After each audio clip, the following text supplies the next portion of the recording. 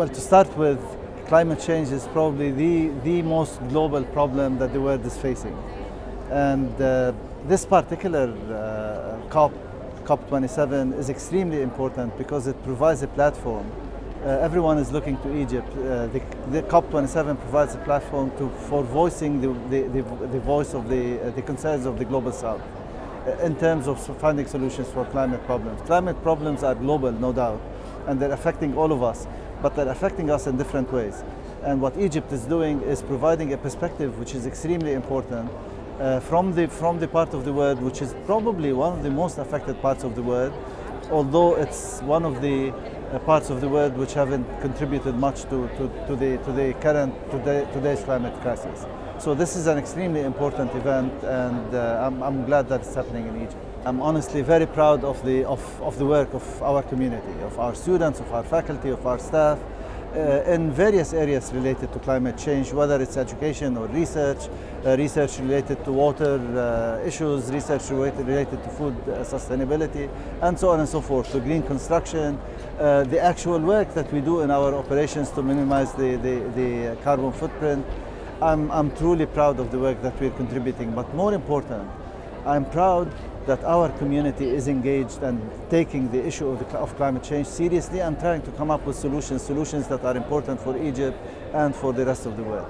Uh, so I'm happy that we are able to showcase our work, showcase the, the kind of work which is being done here in Egypt, but more importantly, we're actually contributing to providing solutions for climate uh, issues. Uh, AUC's work in this area is not just specific to COP27. We started doing this work a long, long time ago, which is why we have so much to show in, in, in COP27. So COP27 gave us an opportunity to mobilize and to bring different researchers from different uh, fields to work together.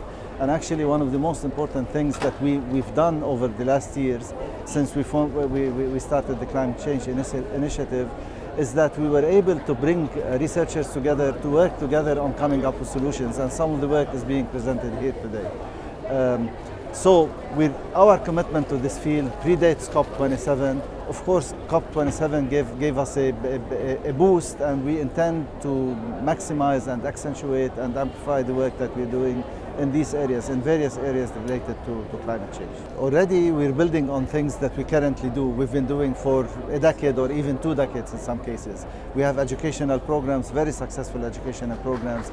We were pioneers in training the new researchers in the field of climate change and environmental sustainability that are actually now manning the, the, the, the, various jobs that are needed in the country and beyond the country. So the work we're doing is not new is, and is, is here to stay.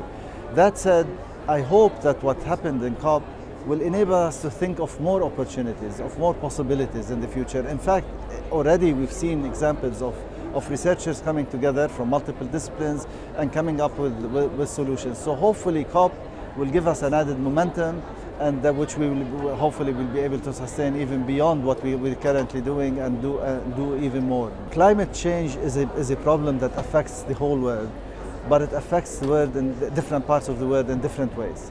And we really need to bring, we need to come up to customize the solutions that we can imagine uh, uh related to climate change, to customize the solutions so they're applicable, they're sustainable in, in, in specific locales. Uh, so um, what we will do, what we're doing, we're educating. We're educating using the highest international standards. And we're also bringing, and this is something that AUC has done in its uh, 100 years uh, history, we're bringing the most developments, we're keeping up to date with developments in, in, in, various fields and bringing them to campus so that we can, we can, we can update uh, our, our, our programmatic offerings in ways that are relevant in the current environment in which we live. Uh, so we're, we're doing, uh, we, we are committed to education, to cutting edge education in this field. We're committing to do it, committed, committed to doing research one of the biggest boosts for research is that is, is when you see that the research you're doing has an effect, and in fact we do. Our researchers are doing are making interventions not just at the at the lab level and not just at the benchmark and in building prototypes, but in some cases they're commercializing the, the, the work that they're doing and taking it to the market and applying it in the market. So again, we were committed to, to doing research. We're committed to reducing our own carbon footprint putting our words where our mouth is. Hopefully, before long, we'll remove the use of plastic bottles from campus, uh, but many more, many more meaningful initiatives. And we're also committed to serving our communities, to intervening whenever we can.